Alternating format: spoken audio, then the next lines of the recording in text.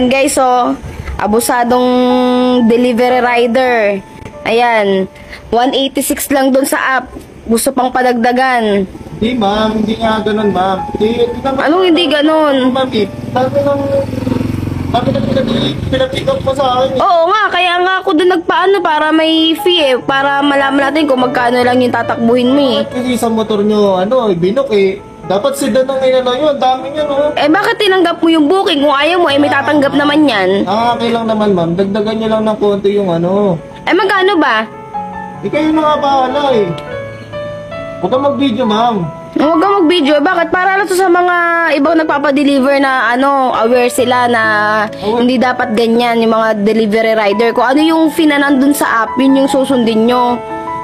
Grabe naman kayo, ma'am. Hindi naman ako humingi ng malaki, ma'am eh. Kung ano lang naman yung ano eh. Ano lang naman yung gusto nyo ibigay, ma'am eh. Ang Hindi, abusado kayo eh. Ilan nyo naman mag yung pinapick up nyo, oh. Sabi nga, kapi lang. Tat- Kapi, tatlong box pala yan. Oo nga, eh, ba't tinanggap mo yung book? Ay, may may tatanggap naman yan. Tatanggap, grabe dapat sa sedan yan, pinano, binok ba, hindi sa motor. Mga ano talaga kayo eh, no? Mga abusadong rider. Ayan, si kuya, tandaan niyo yung mukha niyan. Ayan ang motor niya, oh. Grabe Ayan. sa abusado, ma'am. Ayan yan, ayan, ayan. Grabe. 186 lang. Gusto pa magpadagdag pa ng bayad. Kaya ako nagpato, nagpa-deliver sa app. Um, bakit mag mag-video? Bakit? Ba't mo ko pinagbabawalan mag-video? Ha? Para ma-aware din yung ibang mga katulad ko nagpapa-deliver. Baka kayo mabalikan ko dyan. Baka kayo mabalikan. Mat magkano ba? Di ba 186 lang naman do yung nasa app?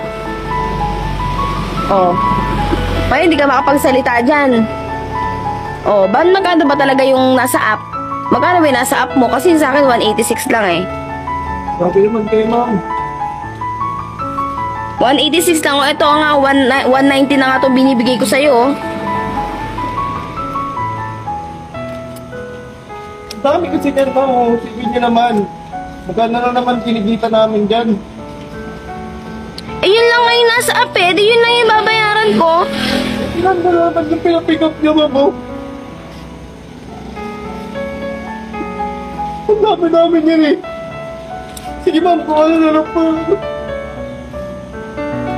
Kung po humingi ng malaki, ma'am, eh. Kunti konsiderasyon lang naman, ma'am.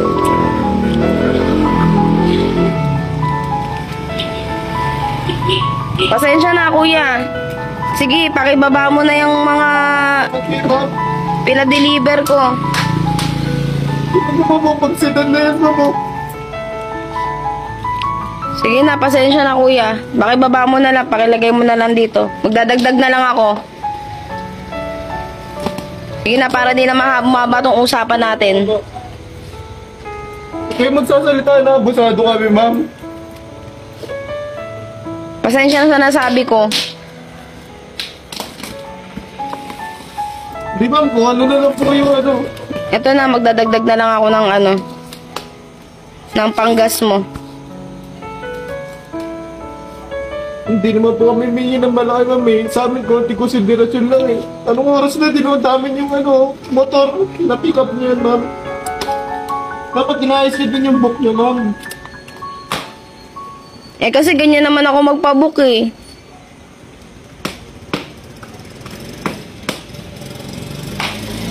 Kasi kapi lang naman yan eh.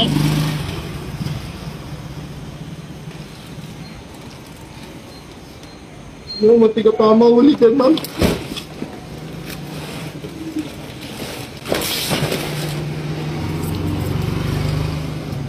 O sir, oh, pasensya na ha.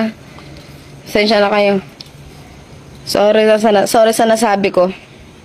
Eh, binasobrahan ko na yan para sa pampagas mo.